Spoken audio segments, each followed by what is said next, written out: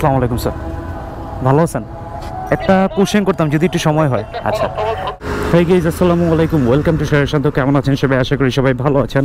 আলহামদুলিল্লাহ, আমিও ভালো আছি। আর আজকের মূল টপিকসটা হবে একটা ইম্পর্টেন্ট একটা বিষয় নিয়ে। সেটা হচ্ছে ফগ লাইট বাইকের মধ্যে ইউজ করা যাবে কি না? এটা নিয়ে আসলে আমি নিজেই খুব প্রশ্নবোধক একটা ব্যাপারের মধ্যে ভুগতেছি যে আমি নিজেই ইনস্টল করতে যাচ্ছি। এখন ইনস্টল করব কি না? খুব রিসেন্টলি আমি সামনে একটা ট্যুর দিব লং ট্যুরই বলা যায়। আর যেহেতু শীতকাল চলে আসছে, একটা মানুষের বিশেষ করে শীতকালেই এই ফগ লাইটটা বেশি প্রয়োজন হয় হাইওয়ে আর শীতকালে। কজ সিটির মধ্যে আমাদের ফগ লাইটের কোনো প্রয়োজন নাই, আমরা ইউজও করি না। তো আমার মনে হয় যে ফগ লাইটটা ইউজ করা অনেক বেশি ইম্পর্ট্যান্ট কারণ হাইওয়েতে এরকম কিছু জায়গা আছে, যেসব জায়গায় প্রচণ্ড পরিমাণে ভাঙাচোরা থাকে। প্লাস হচ্ছে সামনের কিছু দেখা যায় না, একদম অন্ধকারে ভরা থাকে। সো সেই সব জায়গার মধ্যে মানুষ কীভাবে দেখবে? মানে আমাদের মতো বাইকারদের অনেক প্রবলেম হয়। কারণ আমরা যদি না দেখতে পারি, তাহলে আমরা রাইড করব কীভাবে? মোটামুটি প্রাইভেট কার ট্রাক এসব লাইটগুলো মোটামুটি ভালোই হয়। তাছাড়া এদের লাইটের পাওয়ারও খুব বেশি। বাট আমাদের বাইকের যে স্টকের হেডলাইটটা থাকে, সেই হেডলাইটটা কিন্তু আমরা যতটুকু জানি, পর্যাপ্ত আলো দেয় না প্রোভাইড করে না। আর বিশেষ করে শীতকালে তো আরও বেশি দেখা যায় না। তো সামনে যেহেতু শীতকাল ফগ লাইটের অনেক বেশি প্রয়োজন হবে। আর হাইওয়েতে যেহেতু রাইড করতে হবে প্লাস পাহাড়িও কিছু অঞ্চলে রাইড করতে হতে পারে। সেই সব কারণে আমিও চাচ্ছি ফগ লাইটটা ইউজ করতে। এখন ফগ লাইটের জন্য দুই হাজার আঠারো সড়ক পরিবহন আইনে কোনো রকম কিছু ক্লিয়ার করে বলা নাই। এরকমই জাস্ট বলা আছে যে স্টকের যে লাইটটা আছে, এই লাইটটা আমি ইউজ করতে পারব। বাট আমি এক্সট্রা কোনো লাইট ইউজ করতে পারব না।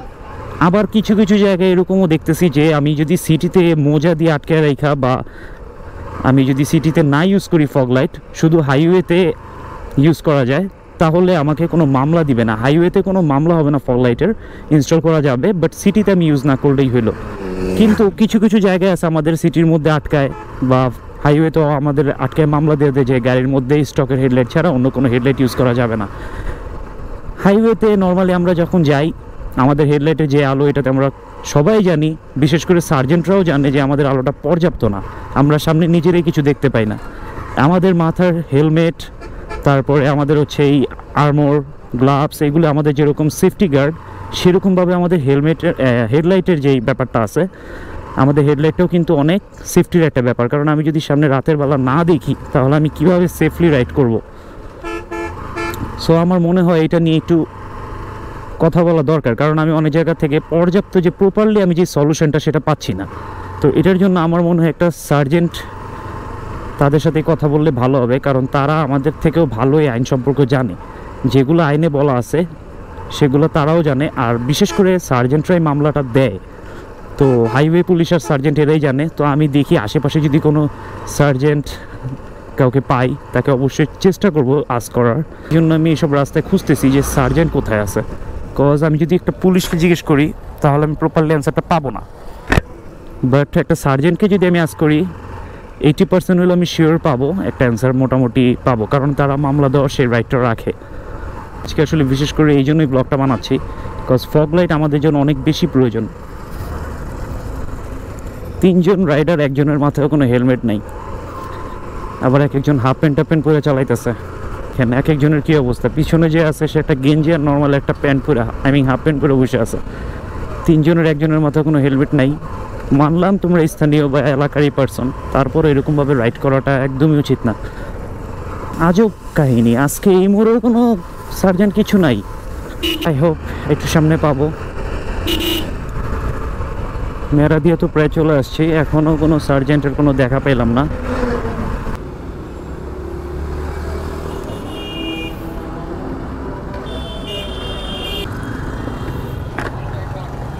আসসালামু আলাইকুম স্যার।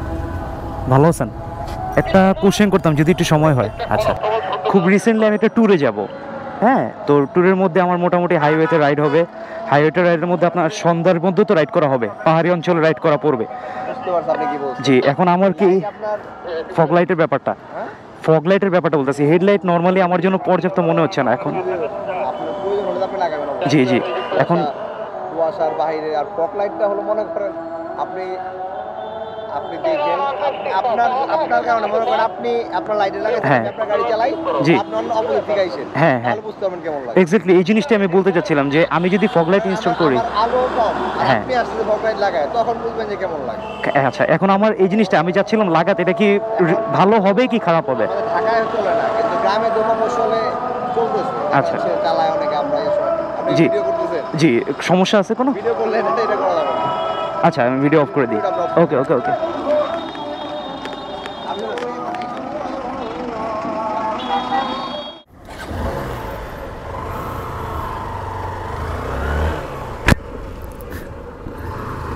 ওকে গ্যাস সো উনি সার্জেন্টই ছিল। আর ওনার সাথে কথা বলে ভালো লাগল। ভিডিও করতেছিলাম, উনি বলতেছিল যে এটা ভিডিও ভিডিওটা করেন না। মানে ভিডিও আপনাকে আমি হেল্প করি, ঠিক আছে অ্যান্সারটা দিই বাট আপনি আমাকে ভিডিওটা এডিট করলেও ক্রপ করে দিয়েন। আপনি একটা ভালো একটা পজিটিভ সাইডে আসছেন পজিটিভ একটা কথা বলতে আসছেন, খুব ভালো লাগছে, সাহস করে আসছেন, ভালো লাগছে। অনেকে আছে এই কথাগুলো আমাদের সাথে শেয়ারও করতে চায় না। তো এই জিনিসটা আসলে ভালো। তো ওনার সাথে কথা বলে যেটা বুঝলাম, ভালোই ফ্রেন্ডলি ফ্র্যাঙ্কলি কথাগুলো বলল বলল, আমি আপনাকে বলি, আমি অনেকবার ট্যুরে গেছি যেহেতু আপনি বলতে চাচ্ছেন যে এই জিনিসটা আমি কথা বলার আগেই সে বুঝতে পারছে যে আমি যেহেতু রাত্রেবেলা রাইড করতে যাচ্ছি বা পাহাড়ি অঞ্চলে রাইড করব, আমার পর্যাপ্ত আলোর প্রয়োজন। আমি কি ফগ লাইট কি ইউজ করতে পারব, নাকি এটার জন্য আমি মামলা খাব? তো সে সরাসরি উত্তরটা দিল যে এটার জন্য কোনো আইনি কোনো বাধ্যবাধকতা এখন আর নাই। আপনি অবশ্যই ফগ লাইট ইউজ করতে পারবেন, এটার জন্য আপনাকে কেউ মামলা দিবে না। তবে আপনি যদি এই লাইটটা ইউজ করেন, সেই ক্ষেত্রে আপনার হয়তো উপকার হইতে পারে, হবে। কিন্তু তার জন্য অপোজিট সাইড থেকে যেই গাড়িগুলো আসবে, সেই গাড়িগুলোর প্রবলেম হইতে পারে। নর্মালি আপনার বাইকটাই আমি চালাইলাম, সে আমাকে এইভাবে বলল যে নর্মালি আপনার বাইকটাই আমি চালাচ্ছি। তো আপনি অন্য সাইড থেকে আসতেছেন, তখন আপনি কিন্তু আমাকে একটা গালি দিবেন যে, আপনার জন্য আমি দেখতে পারতেছি না।